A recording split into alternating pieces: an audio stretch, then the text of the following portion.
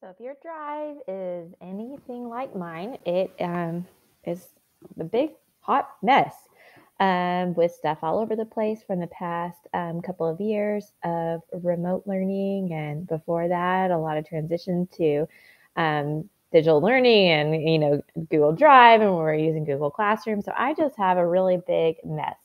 Um, and today I am going to um, the objective of this video is to help you get just organized enough so that when you are searching in the drive, you can be more productive. To get you organized, I'm going to guide you through a few different um, strategies you can use to get your drive cleaned up and everything that you currently have without having to look at everything narrowed down to two folders, as you can see here. So you may be thinking, why would I want to do this? So this all goes back to um, being able to search more efficiently. So right now, when you're searching, if you go into your drive and start searching, and you put in plant um, adoption, it's a project I did last year. And when I t- type it into my drive, it is endless. All the assignments that have been turned in, the copies of the assignments turned in by my students.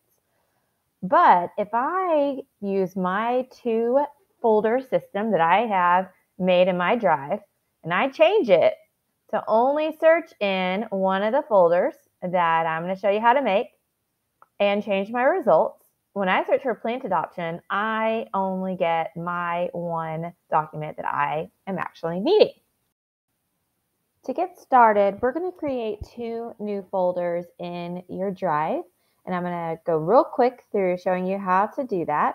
So you're going to right click, new folder, and then name it. The first one I'm naming is a very important one. It's student work, and I'm not going to touch it. So I need something to let me know, don't touch this folder, leave it alone. And then I'm going to make another folder that's for everything else I can touch. I'm just calling it Heather stuff. It probably should be just called like the hot mess folder or all the stuff folder, but it's for everything else that I can touch. Now we're going to start moving folders that contain student work um, that we want to make sure and keep and not mess with into the student work folder that we created. So you have an assignments folder. This is where your Google assignments are being saved. There's a folder for each of your classes, and inside of those, a folder for each assignment. I'm going to take that assignments folder and drag it into the student work folder where I'm just going to leave it alone. I do not need to mess with that folder. You also likely have a Google Classroom folder. This is from a few years ago when we used Google Classroom. Again, it's full of lots of student records and work. Um, I don't want to get rid of it, but I do want to move it somewhere. I'm just not even going to be thinking about it anymore. I'm going to drag and drop it into that student work leave alone folder.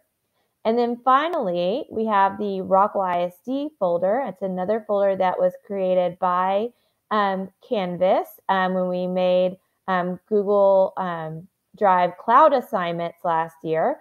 And it has a folder for each of our um, remote classes or our classes from last year. And inside of it, it has work and templates. We want to move that into the student work leave alone folder. And so that folder is full of things that I don't want to delete, but I'm not going to be messing with them at all. Once I get all that student work moved out of the way, then I can start focusing on the stuff that I do use every day. So I'm going to move everything else into your folder. I called mine Heather stuff. Um, I'm not sure what you called yours, but wherever that other second folder is that you created, we're going to begin moving. And I can hold down shift and select multiple um, folders at the same time. And I'm going to drag that into my folder, Heather stuff. I'm going to move everything over. Um, I can even move over folders that are shortcuts to maybe a shared folder. So I just have that shortcut link in my drive, um, like that ITS folder you see there. And I'm going to select those folders and I'm going to move them into that folder that I created that is going to have everything um, that I do want to use on a daily basis. Now, you're going to have a lot of files. So the next step um, after we get all those folders moved in is going to be to look at how we start moving a lot of files. So my biggest issue in my drive is not necessarily those folders, but it's all that stuff. When I go to my drive, it's listed just files.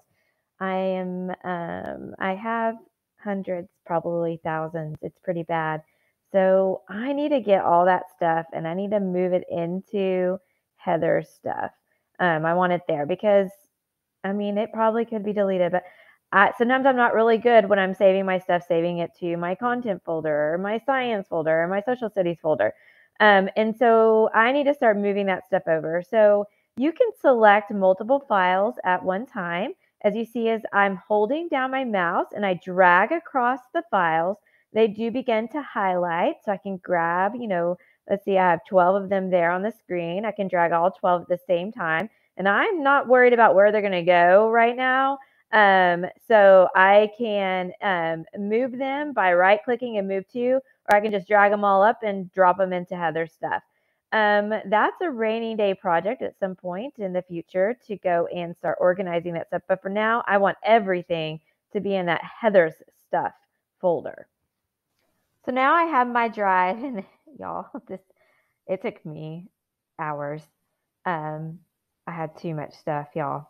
Uh, so now I am have a beautiful drive. When I go to my drive, I have a Heather stuff folder and have a student work leave alone folder. That student work. This is all stuff I just need to leave alone. You should be accessing student work. You can get that through Canvas. Um, there's really not a whole lot of reason for you to come here and um, start pulling student work out or copies of anything out. So all this stuff that's in this student work leave alone, just leave it alone. Um, everything I'm going to be doing now is going to be in Heather stuff. Now, Heather stuff folder is a big mess, um, once again, but the great thing about this now is that when I want to try and find something, and I'll be honest, I, I'm pretty good about the stuff I use all the time, um, sorting it into folders. So I have content folders um, broken down by unit when I go into the different content areas that I've taught in the past. So that's actual teaching materials. Um, and that took me, you know, I, that was a year, year and a half of building that in the classroom um, while I was teaching and organizing myself. Um, it's not something I did over a weekend or after school. Um, it was just something I said, I'm going to start being organized, and I was organized moving forward.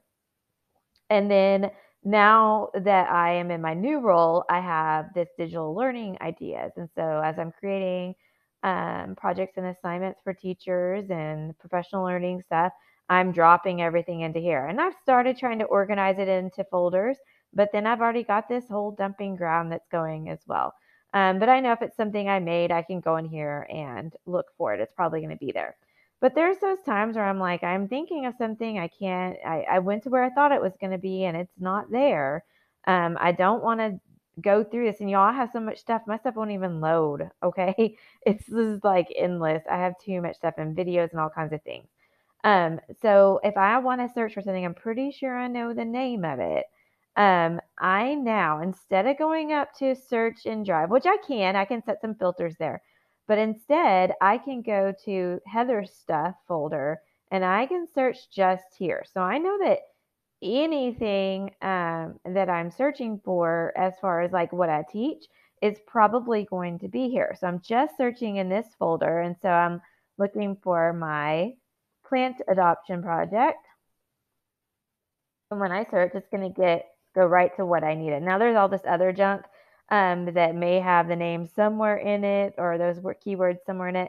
But I immediately get exactly what I was looking for, and it's my version. It's the one that is in my folder. It's not a student copy that is in, showing up in one of those Google assignment folders, um, which was the issue earlier in the issue that so many of you have shared with me. So that is the two folder system in a nutshell. Of course, there's way more ways to organize your drive. This is just one way. And I hope that um, if you do find time, I know y'all are so busy, but if you do uh, find time to do this, it is going to, number one, when you go in your drive, already I feel so less overwhelmed now um, when I'm looking at a pretty clean drive. And secondly, it's going to make my searching just so much easier now that I know everything that is a student copy is moved over to the side basically. I'm not going to be messing with it. and all of my teaching stuff um, that I have been working on for um, the past few years is all going to be in my folder, and I can just now search within that folder to find exactly what I need and hopefully avoid um, the hundreds and hundreds and hundreds and hundreds and hundreds of copies of copies of student work that were showing up for you before. Hope this helps. Have a great week.